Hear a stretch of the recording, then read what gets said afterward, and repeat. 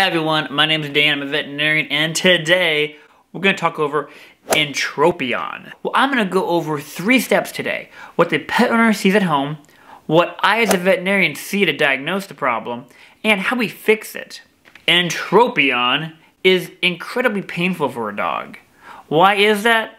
Well, entropion is literally the lower eyelid rolling in and laying on the cornea. When the dog goes to blink, usually the eyelids, upper and lower, they're going to blink and they're going to spread the tears beautifully.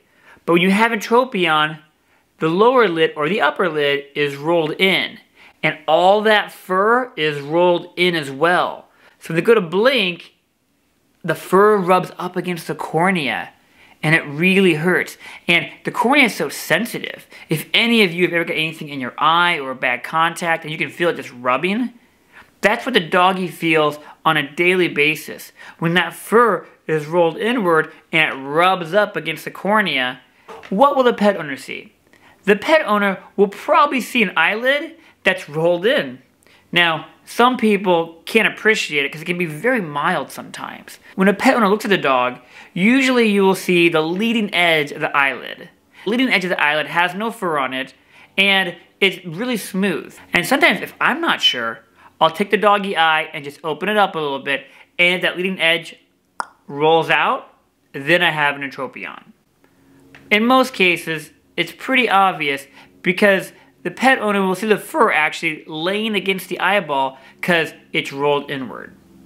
The pet owner will probably also notice squinting and discharge, and maybe even a cloudy eyeball. And that is because the doggy has a corneal ulcer from the fur rubbing up against the eye. If you're interested on how I diagnose corneal ulcers, click the little tab that's going to appear, and that will take you to the corneal ulcer video.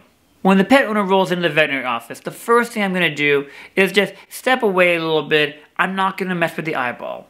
I want to see how the dog handles the eye.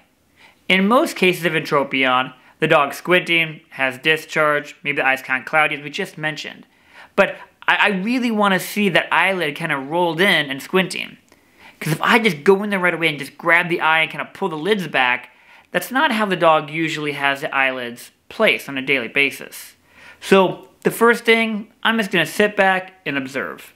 And most of the time, I'll see that lid rolled in, and maybe the dog's squinting a whole bunch and super uncomfortable. Once I have a better idea what's going on, I'm going to numb the eye with some eye drops. I'm going to open that eyelid up, and I'm going to see how much of the eyelid is actually rolled down. And then I'll check for an ulcer too, and usually I'll have an ulcer on the cornea where the entropion is because of all the rubbing. Now that we've diagnosed an entropion, which is 100% based on your physical, we're going to go ahead and fix it. Entropion is fixed with surgery. And what the veterinarian's going to do is make a little elliptical incision under the eyelid, and we're going to remove a piece of skin. Now, by removing that piece of skin, I'm going to then pull the eyelid down. And by pulling the eyelid down, it, it used to be rolled in like that, right guys? And by making a little cut right here and taking that skin out and pulling it down, I'm gonna pull that eyelid out. And now we blink beautifully. I'm gonna suture it, and now the eyelid's no longer pulled in, but we pulled it out. Once you have surgery on an entropion, the eye is fixed. You should have no more problems with it because the cornea is not being rubbed by the fur anymore. Unfortunately, sometimes you do need to have revisions done if enough skin is not taken. It can be hard to tell how much skin to take sometimes. I hope this video gives everyone a whole bunch of confidence regarding rolling into the veterinary office and getting a diagnosis and getting an entropion corrected.